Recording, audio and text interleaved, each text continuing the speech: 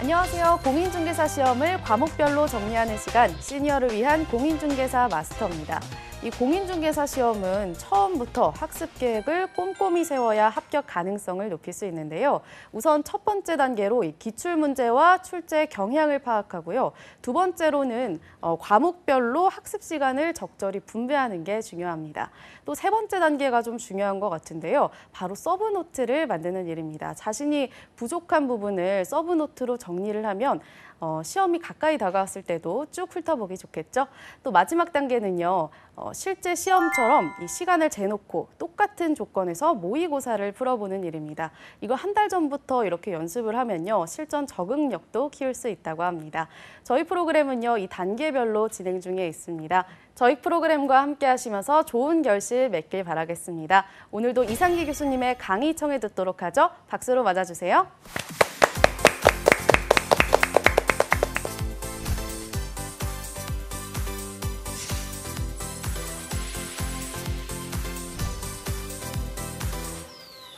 안녕하십니까. 공인중개사법 이상기입니다. 자, 이제 협회를 볼 차례인데요, 우리가. 자, 7장이 되겠고요. 협회는 보통 한 두 개 쭉 나온다 보시면 되겠어요. 두 개가 이제 그 일단 과정이 중요해지는데 어떻게 협회가 설립될 것인가 하는 과정이 하나 나올 수 있고요. 두 번째 이제 운영위원회 나오는데 바로 그 두 번째 공제사업입니다. 그래서 이제 두 개쯤 보실 때 협회하고 어, 공제사업 두 개를 대비하실 텐데 아, 일단 둘 중에 중요한 건 공제사업이 훨씬 더 중요하게끔 보여지는 거죠. 자, 먼저 이제 협회 정식 명칭은요. 공인중개사 협회라고 되어 있고요. 음, 성격 볼까요? 자, 먼저 자, 민법상 비영리 사단 어, 민법상 법인이고 두 번째 비영리 법인이면서 사단 법인 성격을 띠는 거거든요. 그러니까 첫 번째 민법상 법인이다. 두 번째가 비영리 법인이고 세 번째가 사단 법인 성격을 띈다고 뭐 정리해 보세요. 그러면 자, 반대로 생각하시면 상법상 법인이 아니고요. 그다음 영리 법인이 아니고 어, 재단 법인이 아니다 그 말이겠죠. 이제 민법상 비영리 사단 법인이다라는 뜻이고 어, 협회를 설립하기 위해서는 뭘 받냐면 인가를 받아요, 인가. 그래서 이제 인가주의를 취한다는 거예요. 국토부 장관이 인가를 받아서 국, 어, 협회가 만들어진다는 뜻이고요. 법인이니까 당연히 뭐 합니까? 등기해야겠죠. 설립 등기합니다. 그 다음에 어, 협회를 반드시 설립을 해야 되는 것인가? 그건 아니에요. 할 수 있을 뿐이거든요. 그러니까 이미 설립주의를 취한다 그러고요. 그다음에 이제 우리 개업공인 중개사가 되었을 때 협회 회원으로 가입과 탈퇴가 의무인가? 그건 아닙니다. 아, 그것도 자유의 그냥 의사거든요. 가입 탈퇴가 다 자유다. 그래서 일단은 이제 여기서는 자, 민법상 비영리 사단 법인이고 인가를 받는다, 등기한다, 설립할 수 있고 가입 탈퇴가 자유다 정리하시면 되겠고요. 그다음에 이제 과정 한번 볼게요. 과정 이렇게 만들어지는 과정이 나오는데 일단 협회는 법인이니까 맨 처음 뭐가 돼야 되느냐 발기인이 구성돼야 되죠. 이때는요 어, 숫자를 외우셔야 되는데 잘 보세요. 300, 600, 120이 나오거든요. 어, 먼저 일단 암기하셔야 돼요, 이거. 근데 어, 이제 물론 발기 숫자 300인데 그들은 누구냐면 100%다 개업 공인 중개사를 말합니다. 아, 그러면 이제 우리가 자격증을 취득했다고 해서 회원 될 수 있느냐? 아니고요. 반드시 이제 개업 공인 중개사만이 발견될 수 있고요. 정관 만들어지겠고 300명 전원이 서명 날인하겠죠 여기다가 그다음 세 번째 창립 총회를 개최하는데 아, 인원수 보세요. 어, 전국적 600인 이상 개업 공인 중개사가 참석해야 되고 이걸 구분했다는 거예요. 구분하니까 서울에서는 100인 이상을 참석하고 그다음에 어, 그다음 이제 시도겠죠. 광역시 도에서 20인 이상 참석합니다. 이렇게. 그래서 인원수가는요. 300, 600, 120인데 지금 여기서 이제 우선 어, 내용 보는 게 자, 이제 총회 개최가 됐단 말입니다. 그 의결 되겠죠? 의결 됐어요. 그 다음에 이제 바로 뭐 받냐면 이제 인가를 받죠, 인가. 인가는요, 국토부 장관합도 인가를 받는데, 자, 인가를 받으면 이때 뭐가 되느냐? 예, 설립한 시기가 이때 인가 받은 때예요. 자, 용을 잘 보셔야 되는 게 지금 설립이라는 것과 성립은 뜻이 조금 다릅니다. 설립은 그냥 세우기만 했어요. 완성이 된 거는 아니에요. 세웠다. 언제요? 인가 받으면. 완성은 아직 안 됐단 말입니다. 그다음 그 다음 하는 게 바로 등기인데 그럼 어쨌든 인가 먼저 받은 다음에 본사를 두거든요. 본사를 두는데 법률의 근거를 두고요. 어, 어 이제 그 지역 제한이 없어요. 그 아무데나 둘 수 있는데 하나만 더해죠 물론. 그다음에 이제 그다음 등기하거든요. 등기하는 게 인가 받고 난 다음 3주인 하는 거고요. 자 등기 한번 보세요. 뭐라고 되어 있나? 성립을 했습니다. 이제 완성된 거죠. 그러니까 그러니까 이제 인가 앞에 있고 등기는 뒤에 있거든요. 어, 인가 받 그럼 인가 받으면 설립을 하는 것이고 등기하면 성립하는 것이고 어, 좀 다르니까 이제 순서 헷갈리시면 안 됩니다. 자, 인가 앞에 등기는 뒤에 있고 그다음 인가는 설립, 등기는 성립 용어를 조심하셔야 됩니다. 그다음 이제 지분화 지회를 두는데요. 이 지분화 지회는 본사하고 차이점을 이렇게 비교해 보셔야 돼요. 주된 사무소는요 법률의 근거를 두지만 이 지분화 지회는 정관의 근거를 두는 거고요. 두 번째 자, 우리가 법률의 근거를 둔다는 이야기는요. 이 주된 사무소는 두어야 한다는 예, 필수 규정입니다. 강행 규정. 그런데요, 어, 우리 정권에 근거한다는 얘기는요, 이 지분화주의는 설치할 수 있는 임의 규정이라고 이해하시면 돼요. 자, 임의 규정이다. 약간 다른 것이죠. 번사는 두어야 한다. 지분화주의는 둘 수가 있다. 근거 다르고. 그럼 어디 둘까라는 건요. 자, 지분은 시도에 하나씩 두게 돼 있고요. 그다음 지회는 하부 조직이니까 시군구에 둘 수 있어요. 근데 자, 사후 신고라고 돼 있거든요. 어, 뜻은 일단 이건 이제 설치했겠죠. 그러면 이제 지분은 시도지사에게 사후 신고하라. 그다음 지회는 시군구한테 신고한다는 뜻이거든요. 이제부터 업무를 개시하면 됩니다. 이래서 여기는 이제 어, 몇 개를 정리해 볼게요. 우선 인원수죠. 300, 600, 120 인원수 하나 중요하게 외우셔야 되는 거고 그다음 인가 되면 설립했고요. 등기하면 성립합니다. 순서 인가 앞에 등기 뒤에 있네요. 그다음 세 번째가 어, 주된 사무소와 지부 등의 차이점이죠. 근거 두는 지역 등 차이가 있어요. 이 정도 정리하시면 되겠고요. 그다음에 이제 어, 가장 중요한 게 바로 공제 사업이에요. 이 공제 사업에서는 어, 근래 들어서 몇 년 내내 말이죠. 이 공제 사업에서만 보통 두 개를 내더란 말이에요. 문항 숫자가. 그럼 이제 공제 사업이 뭐로 바로 뭐 하는 사업이냐 볼까요? 어, 예컨대 이제 우리가 그 업무 보증 설정을 배웠거든요. 그럼 이제 우리가 중개를 하는 개업공인 중개사가 중개 사고를 냈어요. 그럼 이제 돈을 물어줘야 되는데 말이죠. 그때 바로 물어주기 위해서 하는 완 사업이 바로 이 사업이거든요. 예, 그러니까 바로 이제 여기 볼까요? 손해배상 책임을 보장하기 위한 사업이 바로 공제 사업이에요. 그래서 저희 공제 사업이라는 거는 이제 쉽게 말씀을 드리면 중개 사고를 냈다, 그럼 사고 수습해 주는 사업이다. 그게 이제 바로 어, 개업공인 중개사가 배상 책임을 져야 되니까 이 배상 책임을 보장해 주기 위해서 사업하자는 취지죠. 그래서 자 먼저 공제 규정을 만들어서 국장 승인을 받고요. 처음도 승인 받겠습니다만 변경할 때 승인 받아야 됩니다. 이 승인 하나 기억하세요. 어떤 사업하느냐? 사업 범위 보니까요. 음, 바로 이제 사고 냈다 물어주는 사업을 하자. 배상 책임 보장 피한 사업이고요. 가장 중요한 사업이 되겠죠. 배상 책임 보장이 되는 내용이고요. 그다음에 이제 계약 어, 그 공제 계약 내용이 어떤 상 정해지는가 문제인데, 자 공제금, 공제료, 회계 기준과 네 번째가 책임 준비금 적립 비율인데 일단 네 번째 보세요. 책임 준비금 적립 비율을 잘 확인해 보셔야 돼요. 자 이제 그 나머지 참고로 보시면 되겠고요. 어, 그 비율이 얼마로 하느냐고 할 때 공제로 수입액의 100분의 10 이상입니다. 100분의 10 이상, 10% 이상이니까요. 이럴 때 어, 이제 그 항상 이제 강조하는 게 있는데 말이죠. 어, 이게 어떤 과목이건 마찬가지예요. 숫자가 나오면 숫자는 믿으시면 안 돼요. 숫자 믿으시지 말고 숫자 앞과 뒤에 용어를 완벽히 보셔야 돼요. 그래서 만약에 10%인데 이 앞에 이 말을 바꾸잖아요. 예를 들어 바꿔볼까요 한번? 이제 공제료 뭐 지급액의 10% 이상이다 이런 식으로 이러면 안 돼요. 그러니까 아, 이제 모든 건 마찬가지인데 어떤 숫자라든가 숫자 숫자 나오게 되면요 숫자만 보시면 안 되고 항상 숫자 앞에 또는 뒤에 용어 보시면서 연결을 해놔야 돼요. 그래야 완벽히 말 수가 있어요. 왜냐 우리 시험 낼 때 숫자는요 그냥 그대로 주거든요. 주는데 용어를 바꿔버린다고요. 그럼 용어 바뀌면서 뜻이 바뀌어버리겠죠 이제 그런 문제가 생기니까 숫자는 항상 이제 외우시는 것도 물론 외우시겠지만 숫자 믿지 말자 앞에 용어를 확인해 보자 이게 어떤 기준이 됩니다. 어, 한번 보셨겠고 그다음에 이제 어, 이제 5번에 보시면 책임 준비금인데 방금 보신 거예요 방금 자 이거잖아요 책임 준비금을 얼마로 하느냐 바로 수입액이 10% 이상으로 한다는 얘기인데 바로 이 책임 준비금을 어떻게 해요 다른 용도로 바꿀 수가 있다고요 그럴 때 책임 준비금을 다른 용도로 전환할 때도 바로 국장의 승인을 받죠. 그러면 처음에 이제 공제 규정했었죠. 공제 규정 제정해서 승인받죠. 변경 때 승인받습니다. 아, 그다음에 책임 준비금을 다른 용도로 바꿀 때 또한 승인을 받죠. 승인 두 개 지금 보였네요. 승인 두 개. 어, 그다음에 이제 자 우리가 공제 사업을 합니다. 이제 1년간 사업하겠죠. 1년 사업하는데 공제 사업에 대한 운영 실적을 공시한다는 거예요. 이거는 이제 언제 하냐면요. 다음 연도, 차년도 어, 3개월 내 하거든요. 이렇게. 근데 여기서 공시와 게시는 뭐 뜻은 이제 공시 알린다는 뜻이잖아요. 근데 둘 다예요. 공시하고 게시하는 거라고요. 어디다요? 협회부의 공시 홈페이지 게시가 되는데 그럼 이제 공시할 게 무엇인가 봐야 되겠는데 어, 잘 보시면요. 서류가 세 가지 있고요. 돈 종류가 세 가지가 있어요. 자, 이제 서류 세 가지 보이시죠? 공시할 게 뭐냐 하니까 대차 대조표, 수입 지출을 비교하는 거 있잖아요. 그다음 손익계산서, 감사보고서 세 가지예요. 대차 대조표, 손익계산서, 감사보고서 서류 세 개. 그다음 돈이 세 가지가 나오네요. 벌어들인 거, 나간 거, 쌓아놓은 거 이렇게 하세요. 그렇죠? 자 이제 그럼 서류 세 개, 돈 세 개를 공시하라. 언제까지? 다음 차년도 3월 내 해라. 어떤 서류냐? 대차 대조표, 손익계산서, 감사보고서. 돈은요? 벌어들인 거 수입액, 지급액 나간 거, 현재 남아 있는 거 정립액, 수입액, 지급액, 정립액 이렇게 외우시는 거예요. 그 다음에는 그러니까 이제 자, 공제 사업에 대해서는 재무 건전성을 유지를 해야 되는데 어, 세 가지예요 기준이. 자, 자본, 자산 유동성인데 자본에 대해서는 적정성, 자산에 대해서는 건전성, 그리고 유동성 세 가지. 어, 이렇게 볼까요?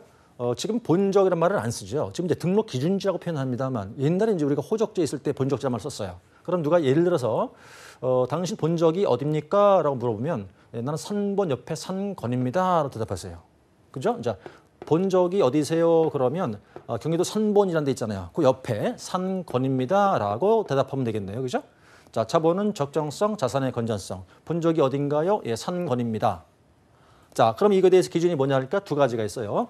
자, 이제 오늘 법률로 규정하고 있는 건전성 기준을 말하는 건데, 자, 대통령령이 두 가지가 있죠. 그래서 연결되는 게 물어줄 수 있는 능력을 말하는 거예요. 물어줄 능력이다. 사고 났다 물어주자. 얼마냐? 100% 이상 유지하라.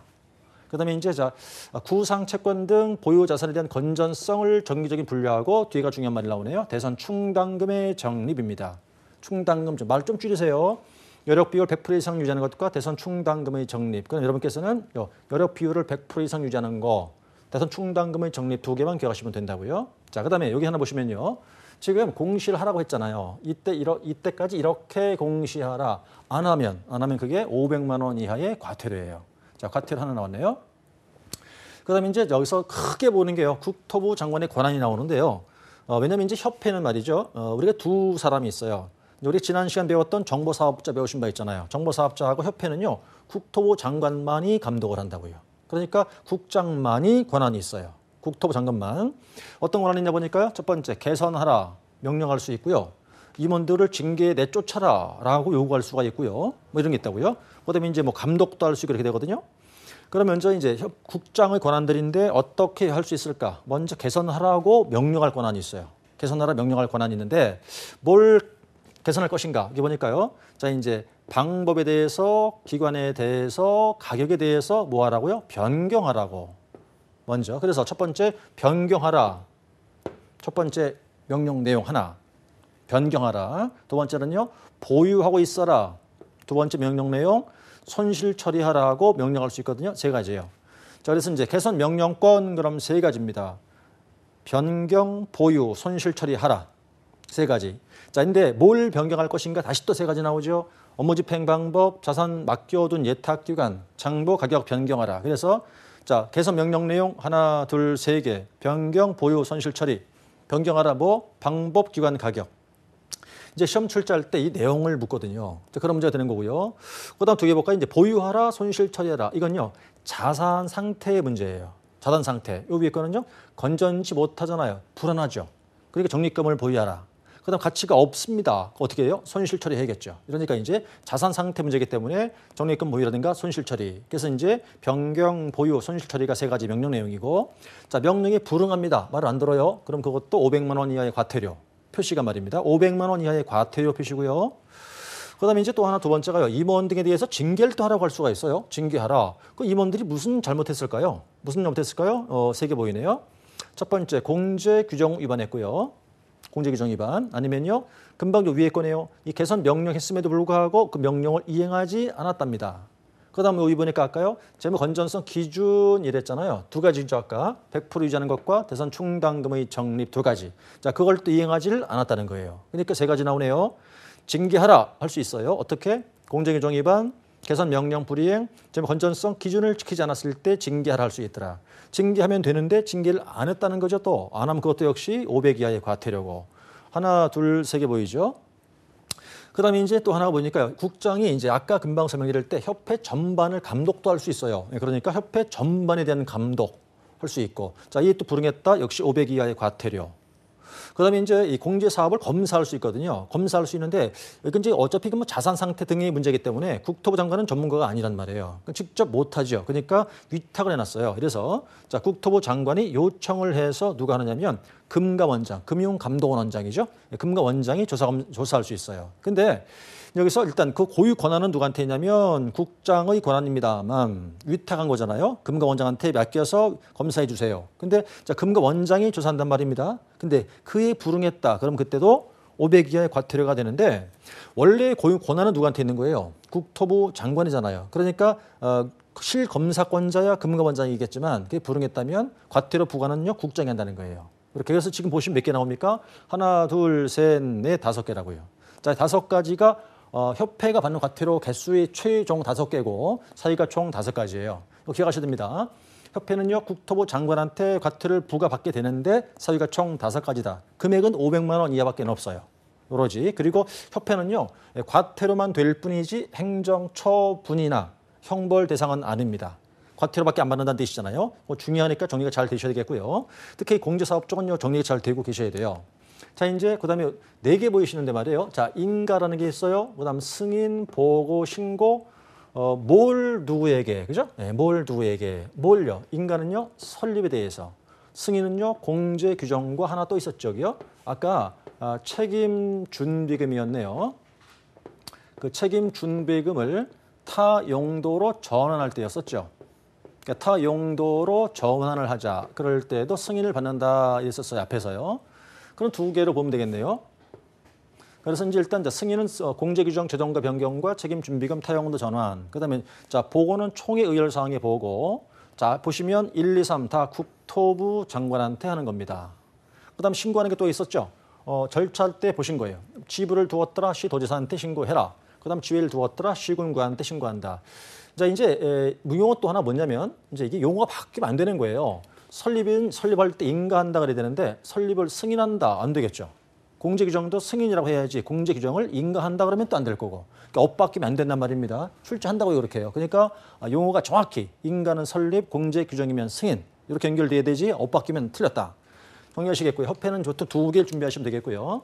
그다음에 이제 운영위원회인데 여기서 또 하나 출제할 수 있어요. 운영위원회가 어, 일단 소속이 어딨냐? 당 협회에 있죠. 협회인데 반드시 두어야 되는 거예요. 운영위원회는 필수 기구입니다. 두어야 한다는 것이고요. 자, 어떤 총 인원수 보니까 19명 이내로 구성되는데요. 어떤 사람들이냐면 이렇게 많아 보이네요. 뭐 협회 임원도 있고요.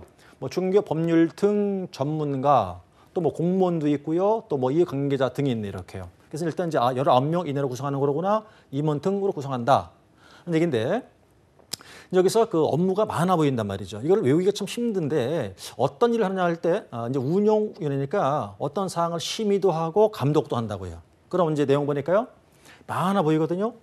어, 이렇게 볼까요 한번? 자 일단 사업 계획을 세워서 그 기본 방침에 대한 사항을 심의한다. 이결산, 차입금, 예산, 공제금 등과 요율. 자 예결산, 차입금, 예산 집행, 공제금 등과 그 요율이라고 생각하시면 공통점이 있어요. 예산 결산, 차입금, 예산 집행, 공제금 등과 요율이다. 아 돈이구나. 그렇죠? 돈. 아 예. 돈, 돈 관련된 사항을 심의하는 거로구나. 하나 그 다음 이제 두 번째가요. 공제약관 등에 대한 약관이죠. 약관 등에 대한 재정 개정 페이지거든요. 자, 약관 등 제정 개정 폐지. 압축해 보세요. 압축해 보시면 자, 업무가 어떤 업무 시작하냐면요. 기본 방침을 세우고요. 그 다음 돈에 관한 사항에 대한 사안들을 심의하고요. 그다음 공제약관 등에 대한 제정 개정 폐지에 관한 사안을 심의합니다. 이러면 줄어들어요. 자 이제 그래서 아, 이런 업무를 수행한다. 심의 및 감독하는데 어떤 사항 심의하느냐. 기본 방침, 돈, 그렇죠? 돈과 어, 약관 등 제정 개정 폐지. 자, 그다음에 이제 구성 볼까요? 자, 19명 이내로 구성한다 그랬거든요. 이렇게. 음, 어떤 사람들로요? 자, 일단 공무원 한 사람 있어요. 국토부 장관을 지명한 사람 한 사람 있고, 그다음에 이제 협회 회장. 그다음에 자, 임원 중에서 이사회가 선임한 사람 있죠. 자, 보세요. 여기 볼까요? 협회장과 임원의 수는 전체 위원의 3분의 1 미만이라고 돼 있네요.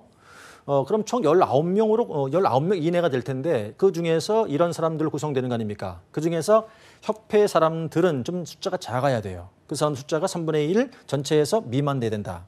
이것도 조심하실 게 3분의 1 이하 그럼 맞나요? 틀리나요? 틀리죠. 안 됩니다. 미만 그래야지. 저런 거 주의하시겠고. 그럼 어떤 사람들이 볼까요 또? 자, 이제 뭐 부교수 등이 있고요. 그다음 부동산 등 전문가 이렇게 됐겠죠. 변호사도 있고 그다음에 공인 회계사, 공인 중개사도 임원 어, 위원 될 수 있는 거고요. 그다음에 금융기관에서 임원으로 뭐 재직 중이라든가 또 공제에서 5년 이상 종사한 사람 등이 위원 될 수 있거든요. 그러니까 이제 대충 보실 때 아, 어, 공무원 있어요. 협회 사람 두 사람 있고 그다음에 이런 사람들로 구성이 되게 되죠. 위원회 구성이었고요. 아, 그다음에 이제 어, 여기서 보실게요. 일단은 첫 번째 인원수 확인하신 다음에 어, 업무가 뭔가라는 것과 그다음에 이제 구성이 되는데 다만 여기서 이제 이렇게 보세요. 어, 그럼 이왕 나온 김에 아, 자 위원장, 위원장과 여기는 어, 부위원장 각각 한 명씩을 둘 수 있거든요. 그럼 일단 이제 여기서 19명에서 이렇게 위원장도 있고 부위원장이 있겠죠. 그럴 때 누가 위원장인가 또는 부위원장인가라는 거는 어, 간단한 거예요. 여기는요. 어떤 사람을 특정해서 위원장으로 하는 게 아니라 이 위원장과 부위원장은 19명입니다. 위원 중에서 돌아가면서 한다는 거예요. 호선한다 그러죠. 호선한다. 이렇게 되는 거고요. 그다음에 이제 여기서 공무원 빼고요. 요 공무원 빼고 나머지 나머지는요. 임기가 아, 2년이 임기가 있고요.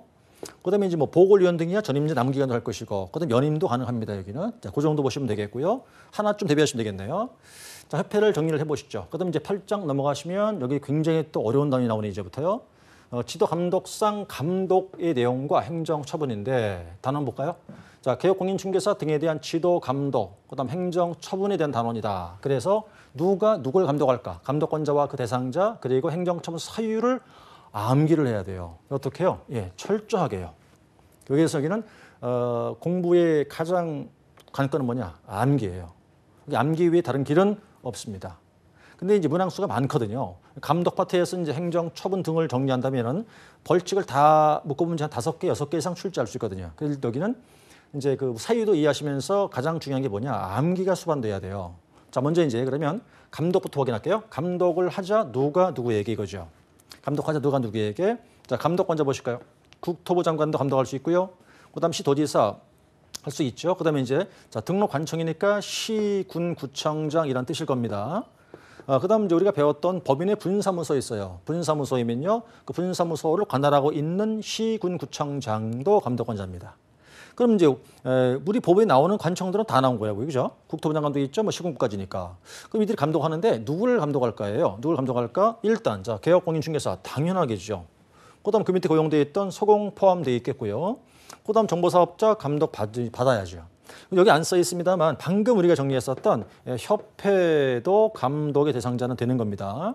그 다음 또 누가 있어요? 여기 특징이 하나 있어요. 자 무등록 중개업자도 감독 받는다고요. 자 이제 우리가 어, 우리 감독을 하는 이유가 이 사람을 감독을 했을 때 등록이 없는 게 확인될 거 아니겠어요? 그럼 형사 고발을 해서 벌칙을 줘야 되거든요. 형벌을. 3년 이하 징역 3천만 원 이하기 때문에 예, 그래서 이제 감독은 국장 등이고 감독 대상은 이런 사람들을 감독한다는 얘기인데 어, 어떨 때 감독할 것인가 요건이 있다고요.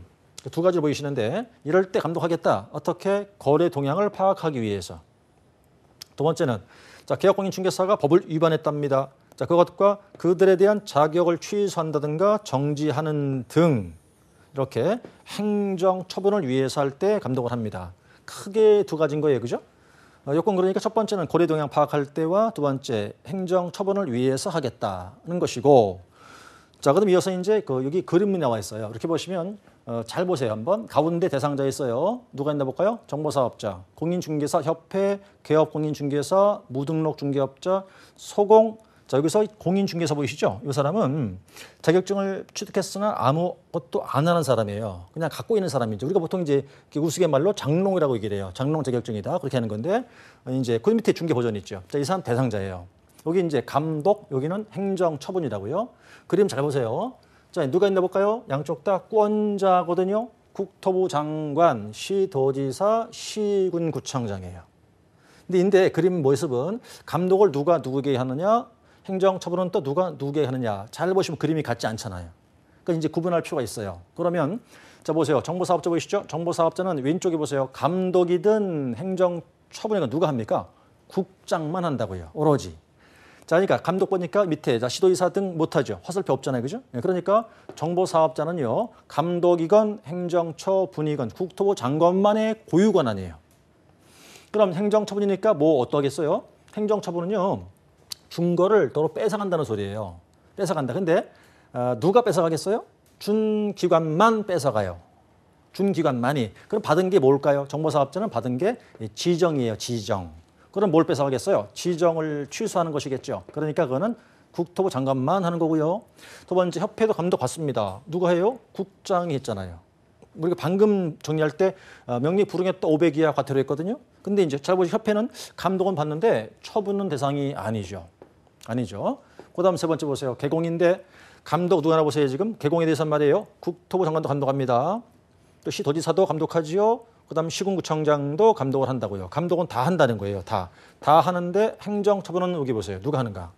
개공은요 이게 등록에 대한 사항을 말하기 때문에 등록 관청만이 처분권자예요. 오로지 이거 꼭 기억하셔야 됩니다. 감독은 다 한다. 그렇지만 행정처분은 등록의 취소나 이제 업무 정지를 말하는 거거든요. 그러니까 준자만 도로 뺏어간다 그랬거든요 방금. 음, 누가 뺏 누가 줬어요? 등록 관청이 등록 준다고요. 그러니까 등록 관청만이 뺏어가야죠.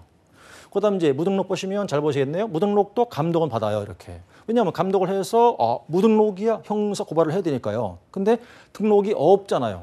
그러니까 뺏어올 게 없어요. 준 게 없어요. 그러니까 처분 대상이 되지를 않는 사람이죠. 그 다음에 이제 자, 이 사람은 소공이니까 이 사람 계곡 밑에 고용돼 있는 사람 아니겠어요? 그렇죠. 고용돼 있으니까 어, 여기다 서슴시 안 그래도 그렇지만 계공과 똑같다 생각하시면 돼요. 즉 소속 공인중개사 또한 감독은 받는다. 그런데 이제 이 사람은 자격증의 문제거든요. 자격증에 대한 문제이기 때문에 행정처분이 됩니다. 자, 두 가지예요. 자격 취소와 자격 정지를 받는다고요. 누가 주냐면 바로 시도지사가 주거든요. 그러니까 시도지사가 줬으니까 시도지사가 도로 뺏어가야 되죠. 그러니까 이제 자 소공에 대해서는요 시도지사가 자격의 취소와 자격의 정지 처분을 합니다. 그다음에 이제 밑에 자 우리가 어, 금방 이제 우스갯말로 장롱이라고 음, 표현드렸잖아요. 업을 안 하고 있는 사람이잖아요. 근데 예를 들어 있지 않을까요? 자격증을 따놓고 누굴 빌려준 거예요. 그럼 안 되는데. 그럼 도로 뺏을 수 있겠죠. 그러니까 시도지사가 자격을 취소하게 되지요. 그다음 맨 밑에 중개 보조는요 아무것도 없어요. 받은 게 없어요. 준 것도 없고 그러니까 아무것도 대상이 안 되죠. 감독도 안 받고 처분도 안 받는다 이렇게 돼요. 그럼 이제 여기서 보니까요. 감독 안 받는 사람 두 사람 보이시죠? 장롱 자격증과 중개 보조원이고 처분 안 받는 사람은요 무등록과 중개 보조원이죠. 이 그림을 먼저 숙지하시는 게 중요해서 그림을 어, 감독은 누가 누구에게 처분은 누가 누구한테는가를 정리하시는 게 중요합니다. 이렇게 마치기로 하고요. 이제 사유가 나오겠지. 사유부터 이제 다음 강 넘겨 지나가기로 하고요.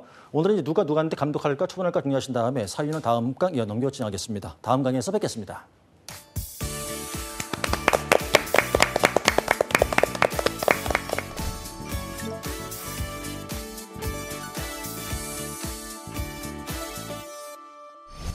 네, 이상기 교수님의 열띤 강의 잘 들었습니다. 오늘은 특히 헷갈리는 용어 위주로 좀 정리를 해주셨고요.